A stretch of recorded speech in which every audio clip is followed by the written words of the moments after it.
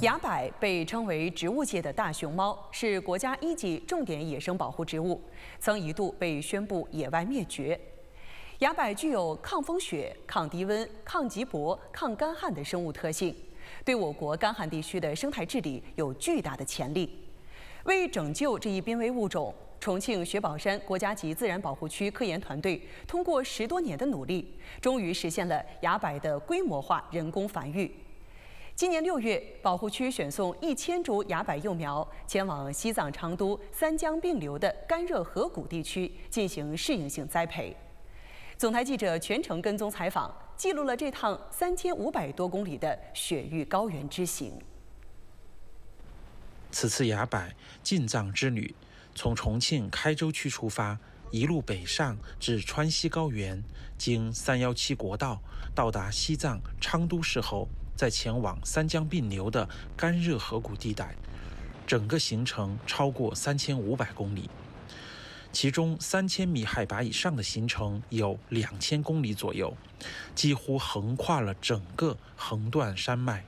行进的第二天，随着海拔的不断攀升，沿途景观开始变得单一，天气也开始变得变幻莫测。刚刚还晴空万里。突然就开始下起了雨雪，这对于很少在高原开车的他们需要特别注意。下大雨了，下暴雨了，大家注意下那个转弯呐，那些要注意安全，不要开快了哈。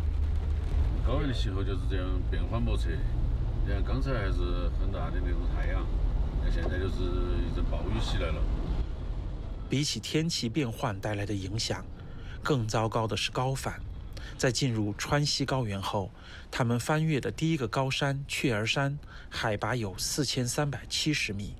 黄继兰开始出现头痛和呼吸急促，胸闷、头晕头胀的感觉。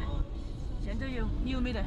然而，距离当天的目的地江达县，最少还需要三个小时的车程。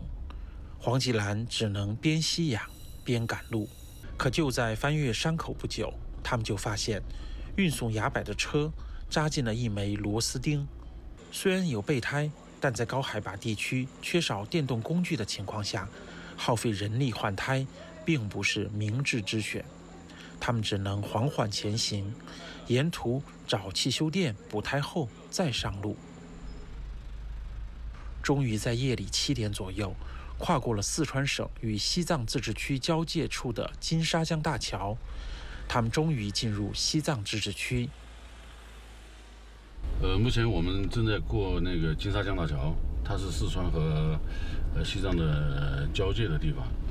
呃，实际上进入这个地方，就实际上我们就进入了我们三江并流的这么一个区域。